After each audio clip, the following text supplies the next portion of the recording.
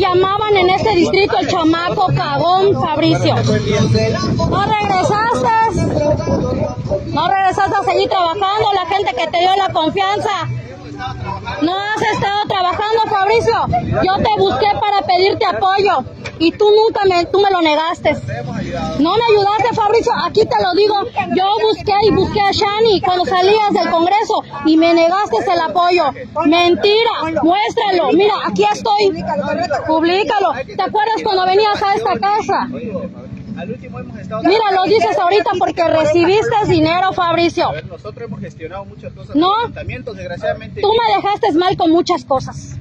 Tú me dejaste, mira. Diputado lo hemos hecho. No lo, no hiciste, Fabricio. No, mira, aquí las coordinadoras somos las que hemos trabajado y, vi- y visto por este distrito. Y Paul, porque tú te vendiste. Te vendiste, Fabricio. Te vendí. Yo te busqué en el Congreso del Estado y no me diste la cara. Te fui a pedir apoyo en un momento muy difícil y tu hermanita me dijo que no podías. ¿Te acuerdas? Mira, te lo recuerdo ahora. ¿Te acuerdas cuando ibas de casa a casa el nombre de quién usabas? Te llamaban en este distrito el chamaco cagón Fabricio.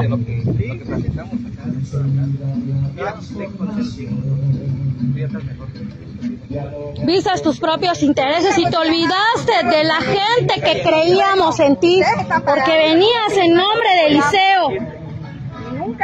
Acá, nunca. A ver, pero hay que tener en cuenta, sí, sí, claro, a ver, pero hay que tener en cuenta nosotros como diputados que es nuestra responsabilidad. Hemos gestionado muchas cosas al No. ayuntamiento. Paul ya fue alcalde, pregúntele a él qué hizo con Hizo mucho, Fabricio, hizo mucho, Fabricio.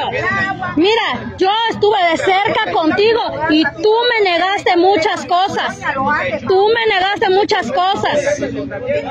No, no es cierto, mira, él es testigo, mira, ustedes no lo saben porque están ahorita. Tú sabes que desde cuándo camino con Fabricio, cuándo caminé contigo, Fabricio.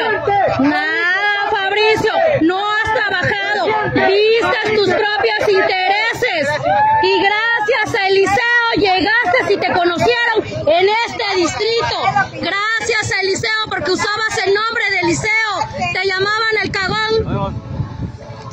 Hoy viene pidiendo el voto otra vez, así de sinvergüenza es.